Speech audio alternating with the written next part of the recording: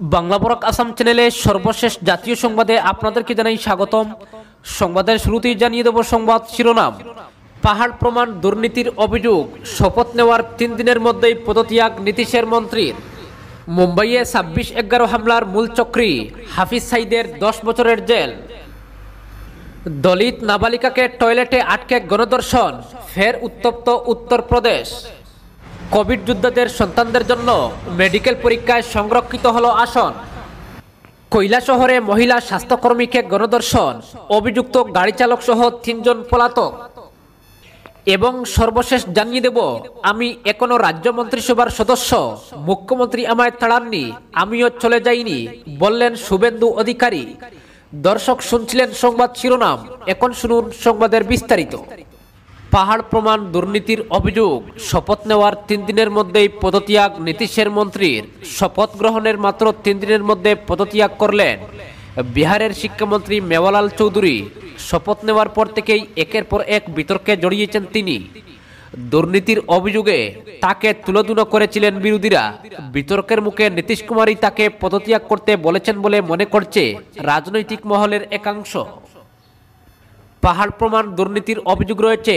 নীতিশ কুমারের মন্ত্রিসভার সদস্য মেওয়ালালের বিরুদ্ধে। তারপরেও তিনি কীভাবে শিক্ষামন্ত্রীর পদ পান, তা নিয়ে প্রশ্ন উঠেছে। প্রশ্ন উঠেছে নীতিশ কুমারের মন্ত্রী বাছাই নিয়েও।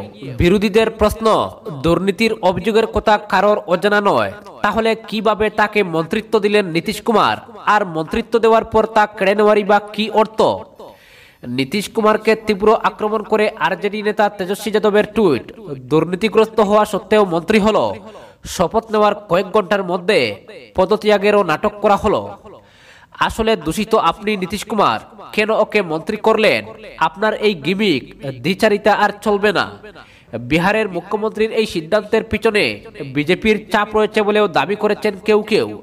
তাদের কোথায়? দলের ভাবমূর্তি স্বচ্ছ রাখতেই নীতিশ কুমারের উপর চাপ দিয়েছেন তারা। তার জেরেই থড়িগড়ি এই পদত্যাগ। বিহারের নতুন মন্ত্রিসভায় তিনি সবচেয়ে ধনী ছিলেন। তার বিরুদ্ধে একাধিক দুর্নীতি মামলা রয়েছে। এমনকি দুর্নীতির অভিযোগে দুই হাজার সতেরো সালে তাকে দল থেকে বহিষ্কৃত করা হয়। কিন্তু পরে আবার দলে ফিরে আসেন তিনি। আর এবার শিক্ষামন্ত্রীর পদও পেয়েছিলেন। একবার বহিষ্কৃত হয়েও তিনি কীভাবে মন্ত্রিত্ব পেলেন, সে প্রশ্ন তুলেছিল আরজেডি। শিক্ষামন্ত্রীর পদ পাওয়া মেওয়ালালের শিক্ষাগত যোগ্যতা নিয়েও প্রশ্ন উঠেছে। শপথ গ্রহণের তিন দিনের মধ্যে শিক্ষামন্ত্রী পদত্যাগের জন্য বিহারের শক্তিশালী বিরোধী দলকেও বাহবা দিচ্ছেন কেউ কেউ। মেওয়ালালের শপথ গ্রহণের পর থেকেই তেজস্বীর তীব্র আক্রমণের মুখে পড়তে হয়েছে নীতিশ কুমারকে। সেই চাপ এড়াতেই কি মেওয়ালালকে পদত্যাগ করতে কার্যত বাধ্য করলেন নীতিশ, উঠছে প্রশ্ন। উল্লেখ্য দুই হাজার সতেরো সালে তারাপুরে মেওয়ালালের বিরুদ্ধে অভিযোগ দায়ের হয়। অভিযোগ, ভাগলপুর কৃষি বিদ্যালয়ের বিসি থাকাকালীন সহকারী অধ্যাপক ও জুনিয়র গবেষক নিয়োগের ক্ষেত্রে দুর্নীতি হয়েছে। তিনিও তাতে যুক্ত ছিলেন। তৎকালীন বিহারের রাজ্যপাল তথা বর্তমানে রাষ্ট্রপতি রামনাথ কোবিন্দের অনুমতি অনুসারে তদন্ত শুরু হয়েছে। কিন্তু মেওয়ালালের বিরুদ্ধে এখনও কোনো চার্জশিট দাখিল হয়নি। অপরদিকে মুম্বাইয়ে ছাব্বিশ এগারো হামলার মূল চক্রী হাফিজ সাইদের দশ বছরের জেল, কুখ্যাত জঙ্গি সংগঠন জামাত উদ্দাওয়ার প্রধান ও মুম্বাইয়ে ছাব্বিশ এগারো হামলার মূল চক্রী হাফিজ সাইদকে দশ বছরের জেল দিয়েছে পাক আদালত। জঙ্গি সংগঠনগুলিকে আর্থিক মদতের অভিযোগে তার বিরুদ্ধে একাধিক মামলা চলছিল।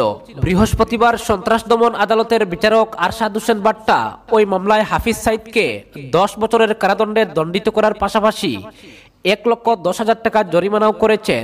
জরিমানা ওনাদের আরও ছয় মাসের জেলের সাজাও শুনিয়েছেন।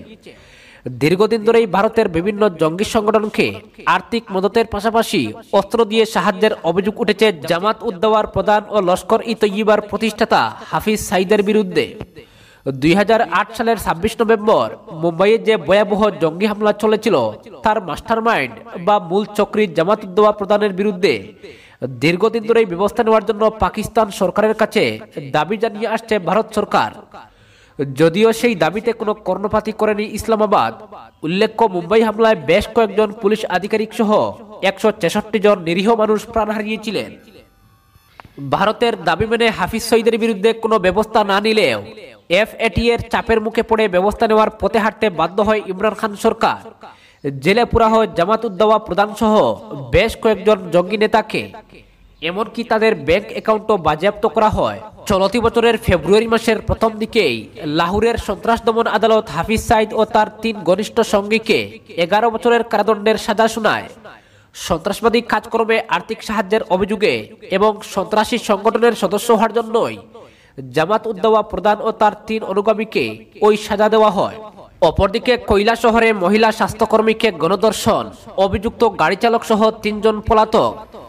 ত্রিপুরার উনকুটি জেলার কৈলা শহরে স্বাস্থ্যকর্মীকে অপহরণ করে দর্শন করা হয়েছে। ঘটনাকে কেন্দ্র করে এলাকায় তীব্র ক্ষোভ ও উত্তেজনা বিরাজ করছে। এ ব্যাপারে ইরানের থানায় সুনির্দিষ্ট মামলা দায়ের করা হয়েছে।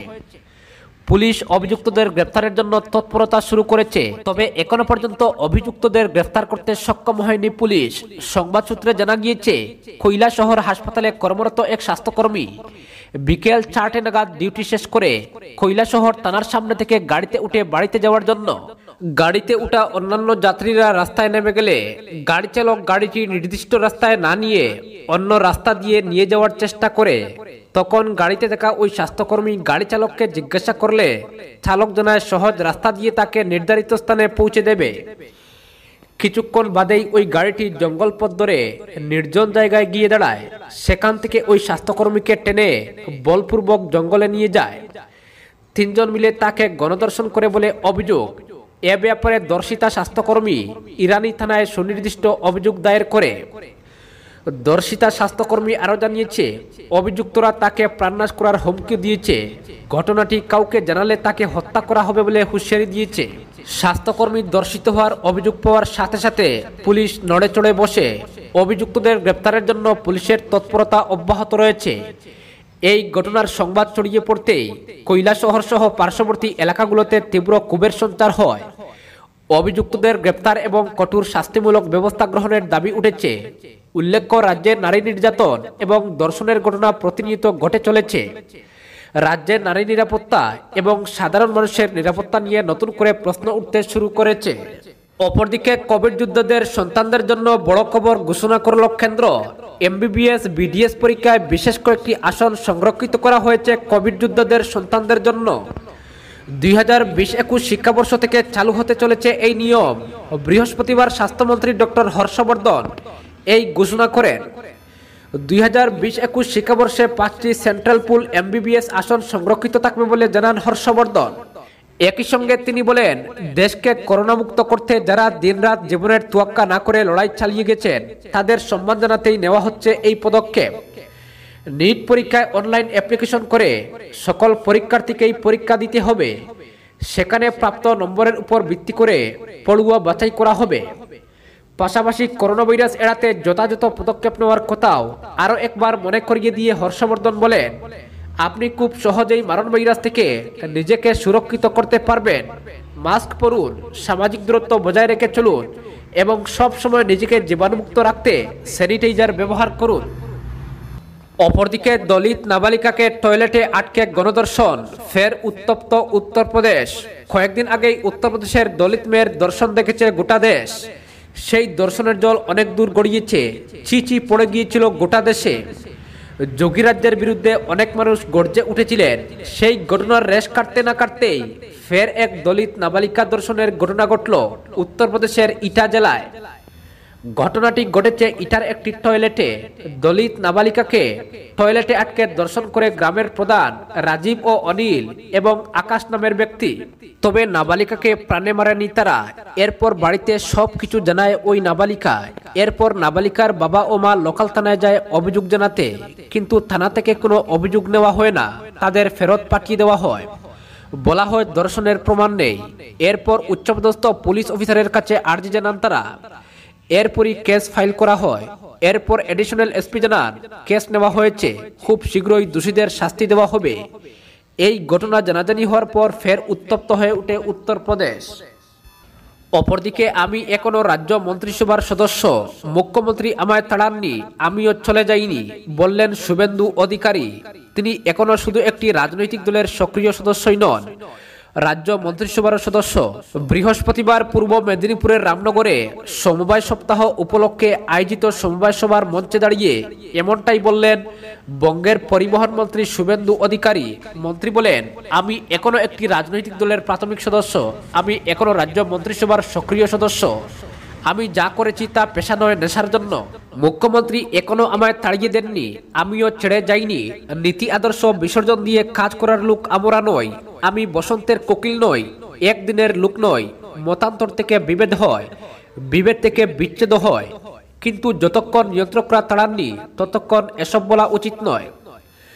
সম্প্রতি বিভিন্ন সভায় শুভেন্দু অধিকারীর করা মন্তব্য নিয়ে জোর চর্চা চলছিল সংবাদ মাধ্যমে। তার সঙ্গে তৃণমূলের দূরত্ব বাড়ছে বলে গুঞ্জন উঠেছিল। গেরুয়া পাগড়ি পড়া শুভেন্দুর পোস্টার দেখে প্রশ্ন ঘুরপাক খাচ্ছিল, তার বিজেপিতে যোগ দেওয়া এখন শুধু সময়ের অপেক্ষা কিনা? এদিন সংবাদ মাধ্যমকে সে ব্যাপারে কটাক্ষ করে শুভেন্দু বলেছেন, আজকে অনেক সংবাদ মাধ্যমের প্রতিনিধিরা এখানে এসেছে। তারা যে হাইপ তুলেছিলেন তার দায়িত্ব আপনাদেরই। শুভেন্দু অধিকারী স্থান, কাল পাত্র, ব্যানার জানে। তার দলবদলের যে গুঞ্জন ছড়িয়েছিল, তাতে এদিন এরকম জল ঢেলে দিয়ে শুভেন্দু এরপর সাফ জানিয়ে দেন, সমবায়িকার মঞ্চ থেকে রাজনৈতিক দল পরিবর্তন করা যায় না। আমি ঘরে নয়, ময়দানে থাকি। করোনা থেকে ঘূর্ণিঝড়। সব সময় মানুষের সঙ্গে থেকেছি। আমি যেসব পদে আছি তার সব